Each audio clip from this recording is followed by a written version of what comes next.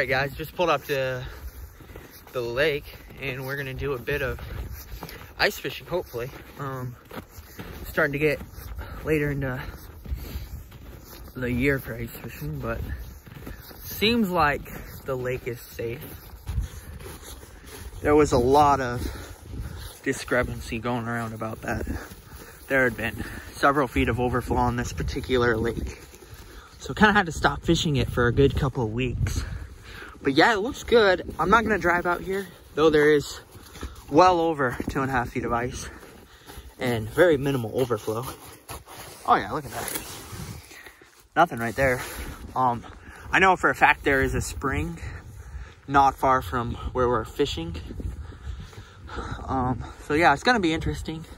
We got a long walk ahead of us. So it should be fun. Traveling light today. Mainly targeting burbot. Um, we're about two weeks out from the closure of burbot. So it's time to get on them. Now, if you don't know what burbot are, burbot are a uh, freshwater cod. Um, they live mostly in lakes and rivers. And one thing that's very unique about burbot is they actually spawn under the ice, which is, there's not very many fish that do that. It's really interesting. And when they spawn, they like to group together in big groups. And it, it's really interesting because they'll do it weeks before the season opens. Now our goal today is to find one of those groups, put a jig in front of their face, and hope they hit it, you know. Absolutely gorgeous out here today. Another thing I didn't touch on, bait is illegal at this lake.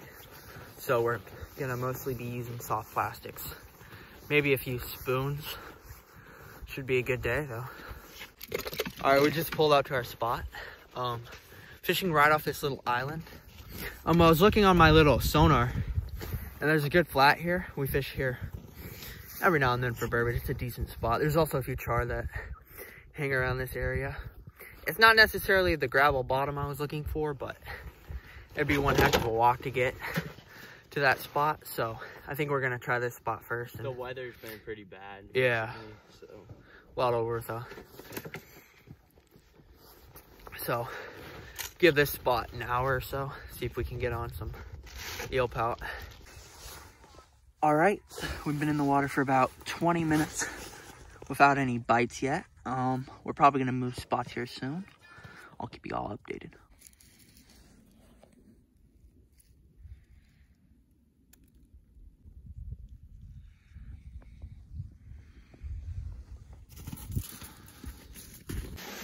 All right, guys, zero luck at the first two spots. So we are once again packing up the sled and we're gonna move a lot farther out on the lake. So hopefully it's worth the walk.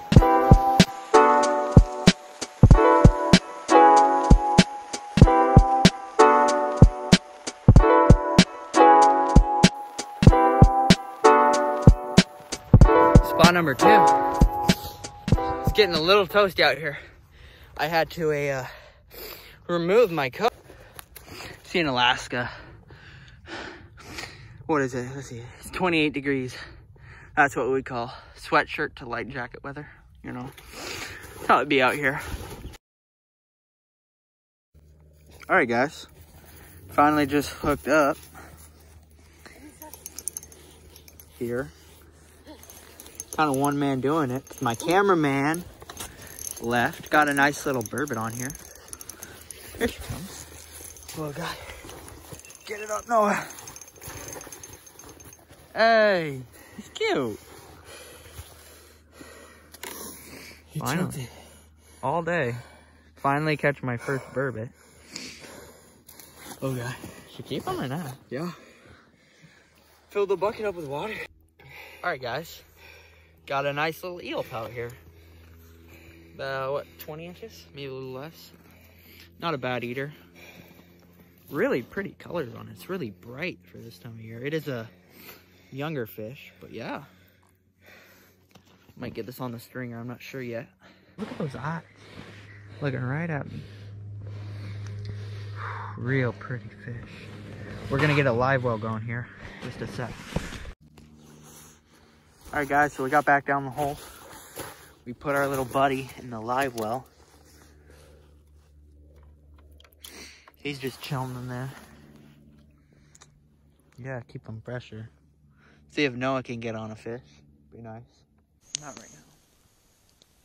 What time is it? 6:45. When did the sun go down? Oh, about 10 minutes ago. That's good. What do you think Burbot Bite will pick up? Honestly, probably not. Um, I think we caught the only burbot in this lake. Hey, for y'all that don't know, this lake is kind of big. I'm not gonna lie. It goes way far that way. Any remarks? Anything, Penny? Penny, can you look at the camera? Stop moving your head. Alright, well, you heard it. Probably gonna cook up some dinner. Then see where it goes from there. Gosh.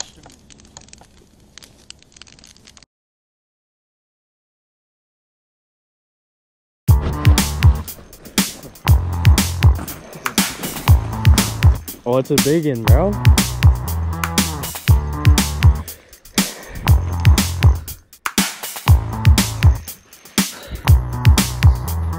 Right as it's starting to get dark. Oh, yeah? Oh. Oh, no. What?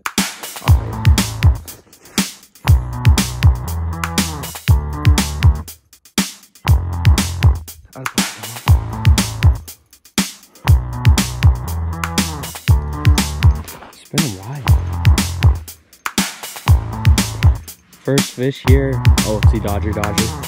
Right here, right here. Here it is, here it is. Oh, heck, dude, that's a good one. Oh, Poppy. Good one. That's a 30 up Again, dude, that's the second 30 incher, second burb. That's a 30 in a row. Wow. Heck yeah. I'm ready. I'll do. I'll do. Hold it up. Heck yeah, bro. Oh yeah, she's a beefcake.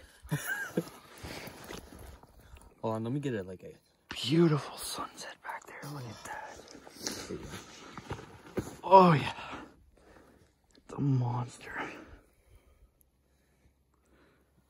Oh yeah. Big mouth. Absolute predatory fish.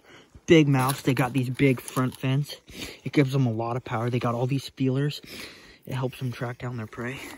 And look at that, just a big, just paddle of a tail. Absolute predatory Right in the bucket. Right into the live well. Oh, that was smooth, Noah.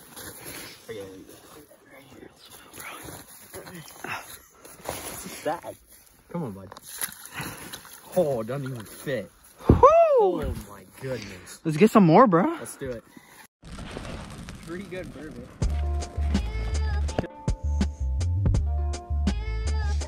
All right, guys, just got back to the car. Not the best day, but not horrible.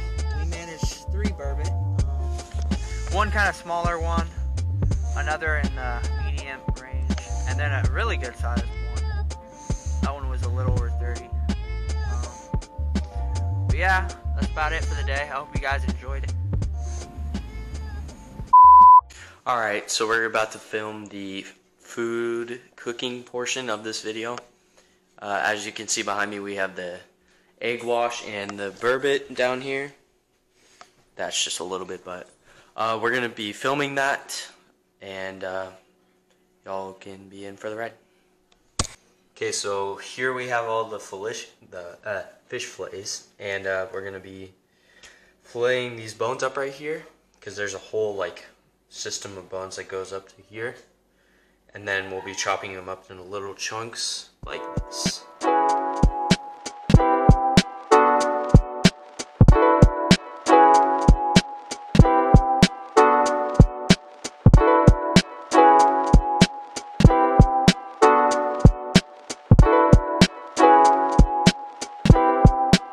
This egg wash that we just did from our farm fresh eggs in the backyard. Um, we'll take this. We'll take our fish fillets that were cut and we'll just dunk them in like this. And then we'll throw them in to the Zatarain's fish fry. Make sure y'all just stir that around like so. Get it all coated. The end result should look like this. Okay, we're about two minutes into this cook and they're looking pretty good actually. Not gonna lie, they look pretty juicy. This is just about half of the batch, so we're gonna give it another about 15 minutes and we'll see you all then. Okay, so here we have the burbot all cooked up in the nice little pile here. And then we got the biscuits rolling in the oven now. So it's gonna be a burbot and biscuit catch clean cook. Okay, so we have the rest of the burbot here, getting all ready for dinner. We're having biscuits and burbot. it's gonna be quite delicioso. Busted. That's true. Uh, it might be busted, but um, yep. This is uh pretty much just the portion where we're just gonna try it. So here goes nothing. That's busted, man. That's good. Burbot catch and cook. What more could you ask for? Let's go follow his Instagram. the dot reel Alaska and his TikTok for new content and giveaways.